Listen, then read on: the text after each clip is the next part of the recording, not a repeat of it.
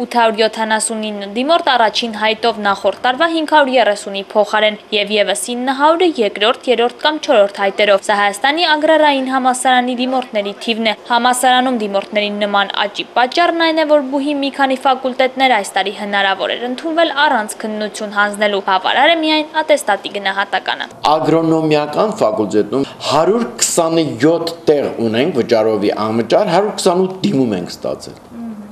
Սա վերջին 10 տարիների ընթացքում եզակի դեպք է։ Այս մեթոդի կիրառումը ոչ թե դիմորդների թիվն ապահովելն է, այլ գյուղատնտեսության գծով մասնագետներ պատրաստելը, վստահեցնում է պրոռեկտորը, եւ հետո ագրարային համասարանի դիմորդների կեսից ավելին մարզերից են, որոնք հիմնականում կրկնուսույցի մոտ պարապելու գումար չունեն։ Մուտքը հեշտ է, բայց ելքը կլինի դժվար։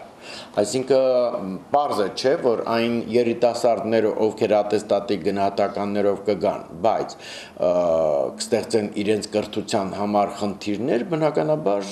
այդպիսի ուսանողները տեղ չեն ունենա, եթե նա չի եկել սովորելու։ Երևանի պետական ճարտարագիտական համալսարանում այս տարի պատկերը հակառակն էր։ Դիմորդների թիվը անցած տարվա համեմատ 22%-ով նվազել է, սակայն բուհի ռեկտորի պաշտոնակատար Հովանես Թոքմանյանը չի շտապում ատեստատի գնահատականներով ուսանողներ ընդունել։ Ես չեմ ուզում դա քննադատել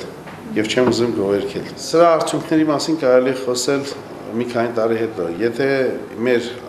գոլեգաներեն հաջողվի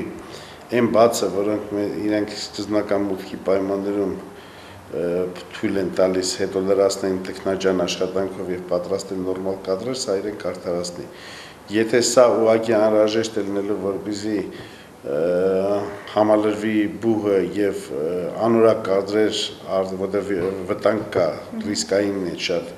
ապա դա կարող է հակառակ էֆեկտի բերել։ Պարոն Թոքմաջյանը վստահ է դիմորդների քանակը իր բուհում պակասել է, քանի որ մեր երկրում ինժեներական կադրերի պահանջարկ չկա։ Երիտասարդներն ավելի հեշտ աշխատանքի են ձգտում։ Պարոն Թոքմաջյանը դիմորդների ուշադրությունը գրավելու այլ տարբերակ է նախընտրում։ նախ առաջի հերթին ավակ մասնագիտացված դպրոցների ցանցին լայնում